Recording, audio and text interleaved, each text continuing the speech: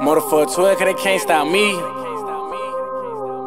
Uh, Quantum bought a space. I remember I was deep, deep down in the pit. I remember I was stuck and I was on my dick. Now y'all niggas really starting to really get rich. Only here for the tick, tick, tick, tick, tick. VVS around my neck, neck, neck, neck, neck. All I want money ain't stunning. All right, sir, go ahead and introduce yourself. What's happening? It's artist Luck Gang Kibias from Milledgeville, Georgia, and we in Atlanta on the real talk.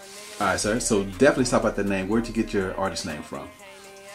Luck Gang Kibias, uh, my brother, my brother Dolo, Luck Gang Dolo. You know, he started the Luck Gang movement and whatnot, and I just added it to my name. Come on, my last rap name was a little too violent and wasn't industry friendly. What was that name? K Murder.